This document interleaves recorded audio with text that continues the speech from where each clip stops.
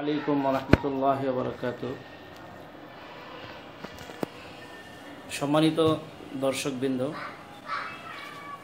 আমি খন্দকার জোনায়েদ হুসাইন।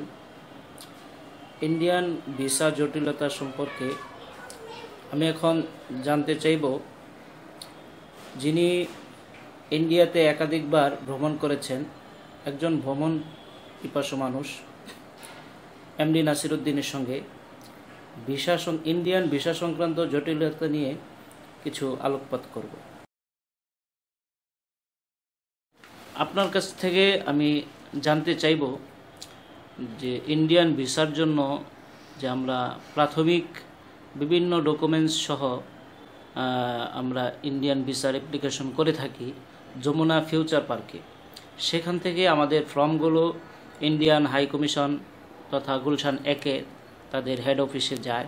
সেখান থেকে ট্যুরিস্ট ভিসার জন্য কি কি প্রয়োজনে একজন গ্রাহককে তারা ইনভাইট করতে পারে ইন্টারভিউর জন্য সেই ব্যাপারে আপনার কাছ থেকে জানতে চাচ্ছি। আপনি যদি বলেন আমাদেরকে। ধন্যবাদ আপনাকে। আমরা জানি যে আমাদের, যারা আমরা ইন্ডিয়া যেতে চাই, তাহ তাদেরকে অনলাইনে একটা ফর্ম ফিল আপ করতে হয়।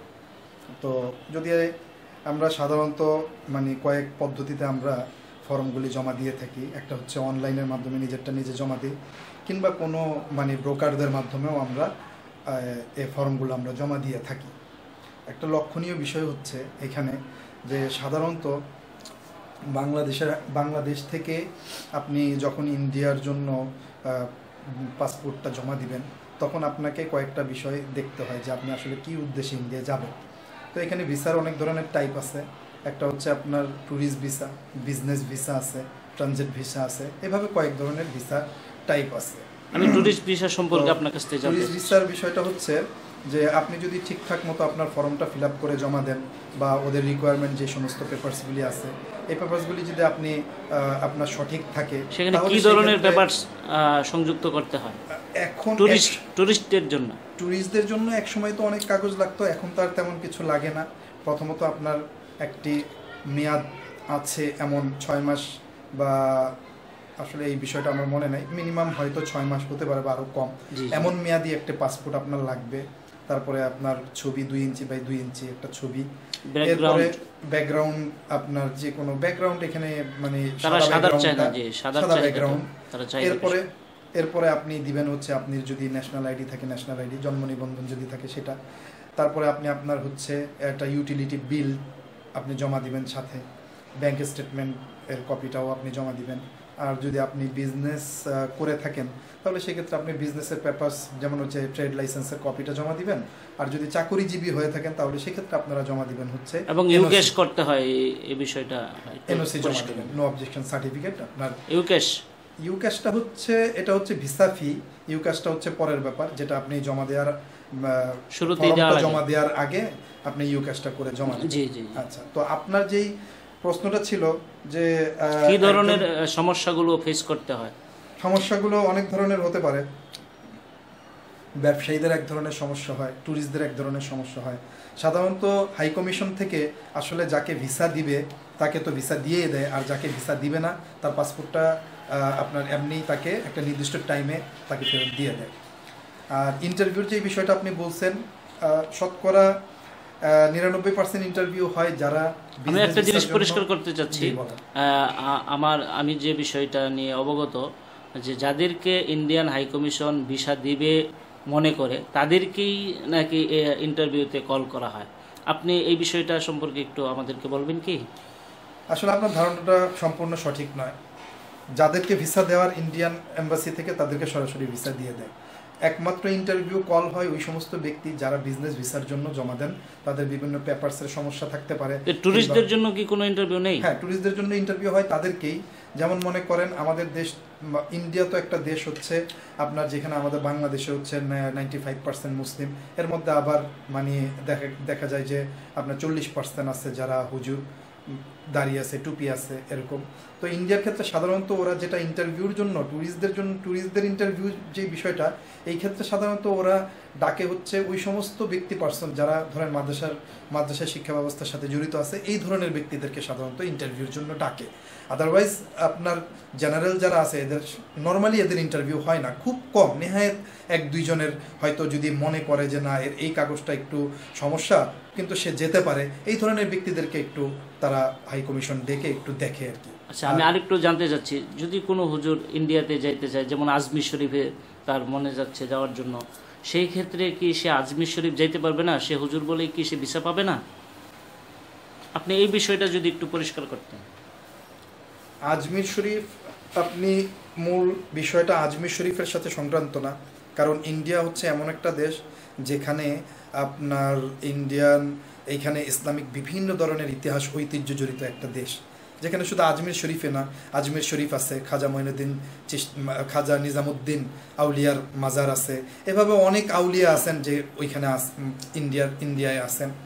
তো বেসিক্যালি আমরা যারা এই ট্যুরিস্টের জন্য যাই, হুজুর যারা আছি, আমরা ইন্ডিয়ান ঘুরতে যাওয়ার জন্য তারা যে এক্সপেক্টেড যে এরিয়াগুলো চাই, সেক্ষেত্রে আমরা আজমির শরীফ দিয়ে থাকি। মূলত আজমির শরীফ যে দিতে হবে এমন কিছু না।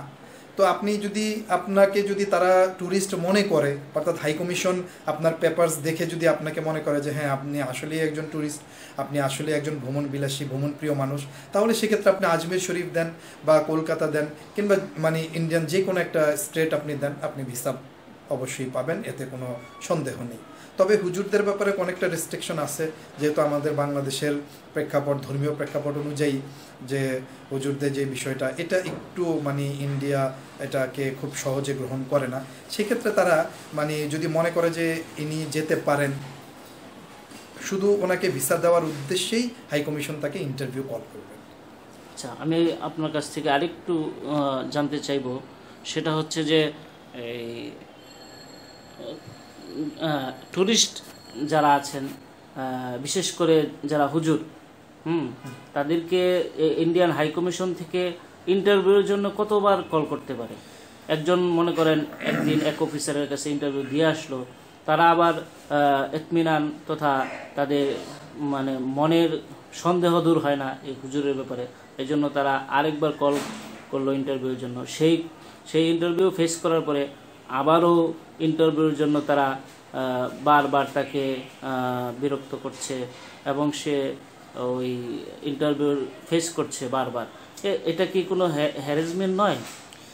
আসলে দেখেন, এখানে একটা বিষয় হচ্ছে কি, যে সাধারণত হাই কমিশন ওই সমস্ত ব্যক্তিদেরকেই ইন্টারভিউর জন্য ডাকবেন যাদের ট্যুরিস্টদের ব্যাপারে বলছি। এটা কোনো বিজনেস পার্সনদের জন্য না। বিজনেস পার্সনরা তাদেরকে এরকম অনেককেই ডাকে, অনেকের ভিসা হয় ভিসা হয় না।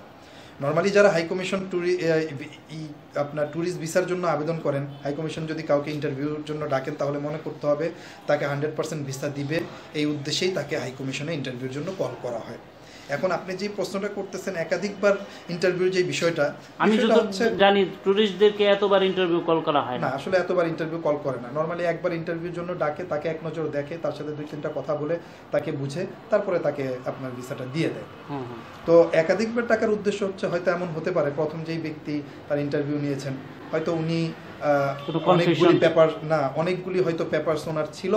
হয়তো উনি যার যিনি বারবার ইন্টারভিউর জন্য কল পাচ্ছেন হয়তো প্রথম ব্যক্তি ওইখানে আপনার ওই যে ওনার যে ফর্মে হয়তো কিছু লেখে জমা দেন নাই। হয়তো এমন হতে পারে পরের দিন যার কাছে ফর্মটা গিয়েছে তিনি হয়তো মনে করলেন যে না ওনার হয়তো ইন্টারভিউ হয় নাই ওনাকে আরেকবার ইন্টারভিউ করা এক ইন্টারভিউ করা দরকার। এই উদ্দেশ্যে হয়তো সেকেন্ডবার তাকে ডাকা হয়েছে। আর তৃতীয়বার যদি আপনি বলে থাকেন তাকে ডাকে তাহলে আমি বলব না এটা নিছক। আসলেই হয়তো একটা মানে ছোটোখাটো একটা হ্যারাসমেন্ট হয়রানি এটা হতে পারে। আচ্ছা। তাহলে কি সেই ব্যক্তি ইন্ডিয়ান ভিসা পাবে না? এতবার ইন্টারভিউ ফেস করার পরেও ইন্ডিয়ান ভিসা তো অবশ্যই সে পাবে। কারণ সে ইন্ডিয়ান ভিসা পাওয়ার উপযোগী? উনি পাবে বলেই হাইকমিশন তাকে বারবার কল করতেছেন। ওনাকে দিবে বলেই কল করতেছেন। আদারওয়াইজ হাইকমিশনের এত মাথা ব্যথা নেই। যদি আপনাকে দেওয়ার হয় দিয়ে দিবে, না দেওয়ার হয় আপনার পাসপোর্ট আপনাকে সাদা পাসপোর্ট ফেরত দিয়ে দিবে। এটা হচ্ছে হাইকমিশনের নিয়ম। আপনাকে দিবে, ওনাকে দিবে এই জন্যই ওনাকে বারবার কল করা হচ্ছে। আচ্ছা ধন্যবাদ এমডি নাসির উদ্দিন আপনার সঙ্গে দীর্ঘক্ষণ কথা বললাম এবং আপনি আমাদেরকে সময় দিয়েছেন। আমরা এতক্ষণ